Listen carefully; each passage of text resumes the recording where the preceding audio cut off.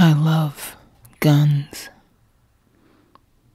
I love the smell of metal,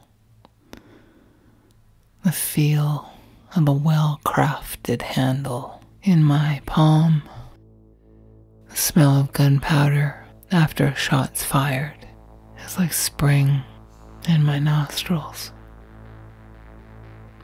I never thought it would go this far. The tension, the anger. I'd had enough.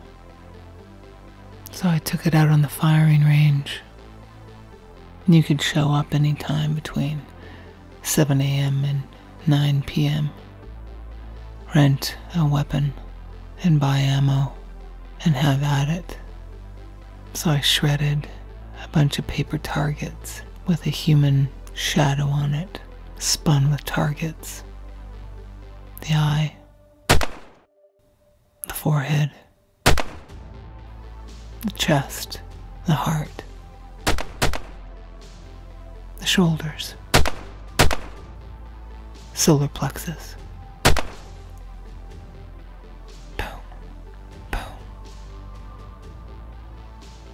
It felt good to become a better shot every time I went down there.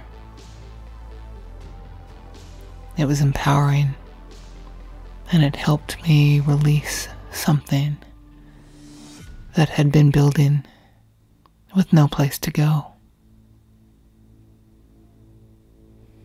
But now I know.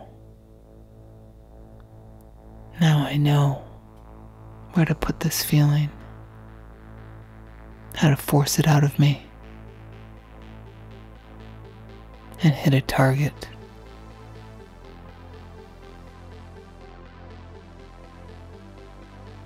But now I know.